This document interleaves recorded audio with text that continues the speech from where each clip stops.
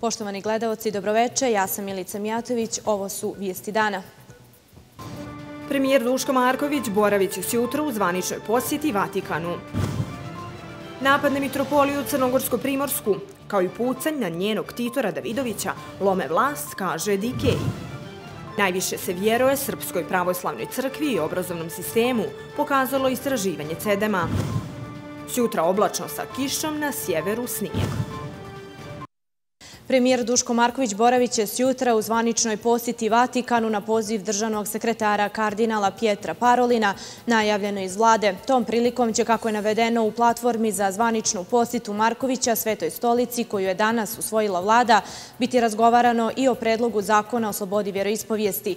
Podsjećamo, Mitropolija Crnogorsko-Primorska objavila je juče pismo Pape Franja u kojem je naveo da zakoni o vjerskim slobodama mora da bude donesen po demokratskim principima, da ga prihvate sve vjerske zajednice.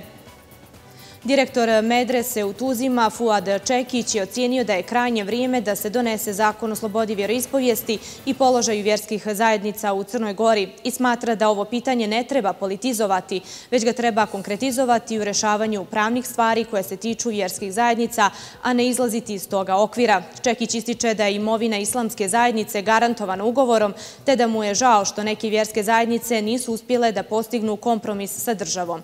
Zakon je dao mogućnost zaključivanja takvih ugovora, što znači na neki način da je konvergirao ugovore koji već postoje sa nekim vjerskim zajednicama. Nažalost, te vjerske zajednice nisu uspjele da postignu kompromis u pregovorima.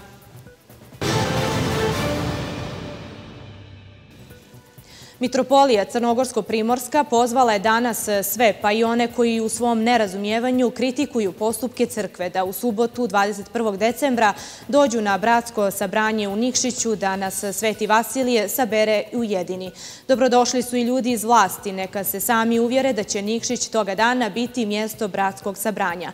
On bi toga dana mogao biti i mjesto početka našeg bratskog razgovora koji je izostao prethodnih godina da nas Sveti Vasilije sabere i ujedini jedini. Ističe se između ostalog u saopštenju Mitropolije Crnogorsko-Primorske povodom saopštenja političke partije DPS-a na najavu crkvenog Sveto Vasilijevskog sabranja u Nikšiću.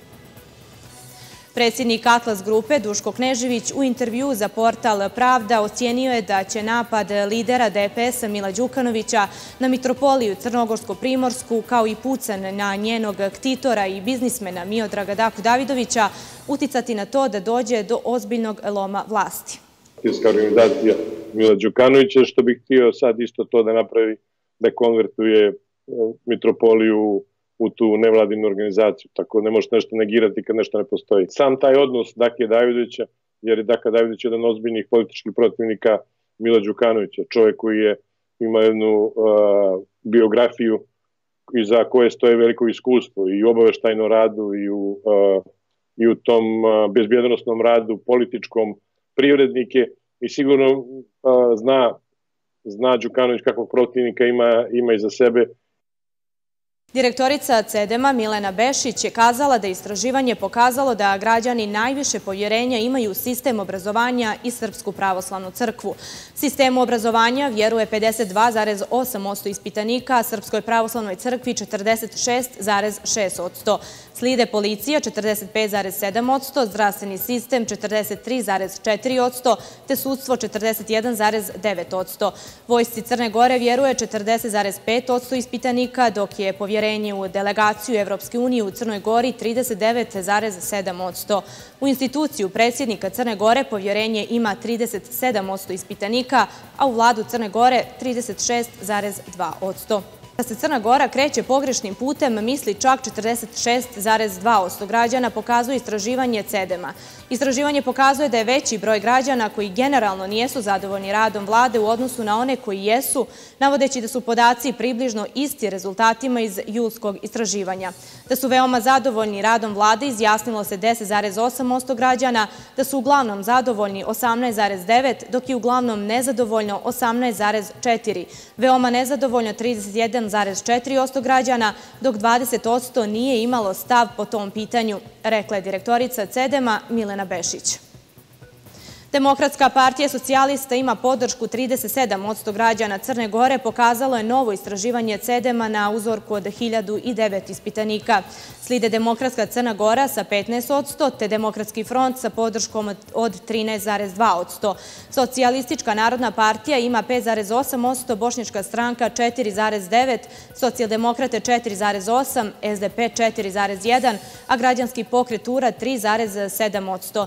Ispod cenzusa su Demos sa 2,6%, prava Crna Gora sa 2,2%, albanska alternativa ima podršku 1,6%, Crnogorska 1,3%, Ujedinjena Crna Gora 1,2% i Demokratska unija Albanaca 1%. Rast podrške bilježe DPS, Demokrate, Bošnička stranka i SDP. Sve ostale partije bilježe pad rejtinga. Predsjednik Crne Gore Milo Đukanović ima najveću prosječnu ocjenu. Navodi su istraživanju političko javno mnjenje Crne Gore koje je CEDEM predstavio danas. Iza njega je sada premijer Duško Marković koji sada ima veću prosječnu ocjenu od lidera Demokratske Crne Gore Alekse Bečića koji ima istu prosječnu ocjenu kao ministar obrazovanja Damir Šehović koji je na četvrtom mjestu. Slidi Ivan Brajović, Drita Nabazović, Miodrag Lekić, Vladimir Joković, te Milan Knežević, Nebojša Medojević i Andrije Mandić. Cedem zaključuje da su bez obzira na relativne odnose između političara sve ocjene jako niske. Crnogorski režim naručio je rezultate istraživanja CEDEMA da bi lažnim porastom podrške pravdao svoja nepočinstva, tvrdi port parol Nove srpske demokratije i funkcioner DF-a Marko Kovačević. Kovačević tvrdi da nije ni čudo što je promovisan navodni pad rejtinga DF-a i njegovih političara koji su otkrili veliki broj afera režima u prethodnih pola godine i koji su glavni politički protivnici donošenja zakona o otimanju imovine Srpske pravoslavne crkve u Crnoj Gori. Primjetan je i pad povjerenja u Srpsku pravoslavnu crkvu u odnosu na julsko istraživanje, što bi trebalo da navede na zaključak da spremnost crkve da odbrani sebe i svoja prava od napasnika iz redova režima uzrokuje pad povjerenja u istu, kazao je Kovačević. Odbor za bezbjednost i odbranu odbio je danas inicijativu opozicijonih članova da se održi kontrolno saslušanje čelnika bezbjednostno-obavještajnog sektora i specijalnog državnog tužilaštva povodom navoda o hibridnom ratu protiv Crne Gore. Za predlog opozicije, osim tri prisutna člana opozicijonih partija, glasao je i Lujić Škrelja, ali je kasnije rekao da nije glasao za, jer kad je podigao ruku nije znao o čemu tačno glasa. Poslanici vladajućih, Demokratske partije socijalista i socijaldemokrata rekli su da nijesu protiv kontrolnog saslušanja na temu hibridnog rata i prijetnji i predložili da umjesto Katnića na kontrolnom saslušanju dođe ministar odbrane Predrag Bošković. Urednik dnevnog lista Dan i predsjednik Komisije za istraživanje napada na novinare u Crnoj Gori Nikola Marković kazao u emisiji načisto da će vršilac dužnosti Vrhovnog državnog tužioca Ivica Stanković i direktor Uprave policije Veselin Veljović biti pozvani na kontrolno saslušanje u Savjet Evrope u Strasburu zbog napada na novinare u Crnoj Gori. On je u emisiji kazao da ima informaciju da tužilaštvo lažno obavještava međunarodne predstavnike da novinarka Olivera Lakić, koja je prošle godine napadnuta, neće da se sarađuje sa njima. Od 2004. godine, odnosno od najtežeg slučaja ubistva glavnog urednika dana Duška Jovanovića, u Crnoj Gori je zabilježeno preko 86 slučajeva napada na novinare. Parlamentarni izbori u Srbiji biće održani najvjerovatnije 26. aprila. Kako novosti saznaju, ovaj termin pominjao se danas na trećoj rundi dijaloga vlasti i opozicije pod posredovanjem Evropskog parlamenta u Skupštini Srbije i gotovo izvjesno da će Srbija baš tog dana ići na glasanje. Predstavnici vlasti i opozicije na sastanku su se složili sa ovim predlogom i rekli da su u igri dva termina, 26. april i 3. maj. Partija Borisa Johnsona osvojila je ubjedljivu većinu na varenim izborima u Velikoj Britaniji. Njegovi konzervativci su pobjedili čak i u mjestima u kojima su tradicionalno vladali laburisti. Premijer Boris Johnson je rekao da će mu ova pobjeda dati mandat da se riješi pitanje Brexita i izvede Britaniju iz Evropske unije sljedećeg mjeseca. Jeremy Corbyn, lider laborističke stranke, rekao je da je za njegovu stranku ovo bila vrlo razočaravajuća noć i da neće voditi laboriste na sljedećim izborima. Informacije o vremenu za sjutra, promjenjivo oblačno uglavnom još tokom jutra, povremeno kiša, pljuskovi i grmljavina u višim planinskim predjelima, na sjeveru i susnježica i snijeg. Od sredine dana postepeno razvedravanje, prvo na jugu zemlje, jutarnja temperatura do 11, najviša dnevna do 17 stepeni. Bile su ovo vijesti. Hvala na pažnji.